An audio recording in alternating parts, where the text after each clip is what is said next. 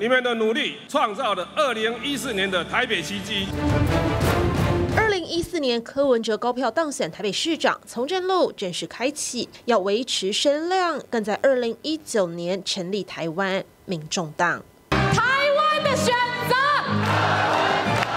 只是党才刚满五岁，主席柯文哲碰上从政来最大危机，这一人政党还走得下去？这个时刻应该是大家一起共同承担的时候，不分层级，所以现在应该是团结一致。当一个篮球赛、棒球赛的总教练被暂时驱逐出场的时候，总是那个球队会更加的凝聚，更加的团结。党员坚信主席清白，毕竟他们也深知，民众党的崛起靠的是柯文哲魅力，这道理柯文哲更是心知肚明。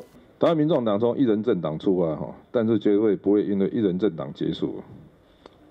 我对我们整个党的能量是有信心的。支持者面前自然不能认输，只是谁又是下个接班人选？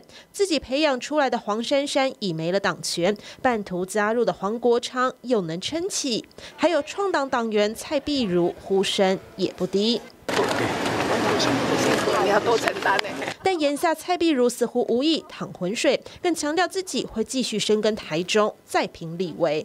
成功的组织呢，都一定有分层负责。但柯批这个人很不习惯哈，而且他信任圈恐怕是他以他的家人为优先。对于呃民众党的选举路程来讲，我相信只有更见坎坷哈。那也可以说他在二零二八年可能还在立法院舞台，二零二八年之后的舞台是一定会更缩小。柯文哲的政治未来不止牵动民众党命运，也是台湾第三势力的影响力。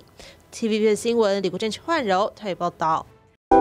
想看最完整的新闻内容，记得下载 TVBS 新闻网 APP。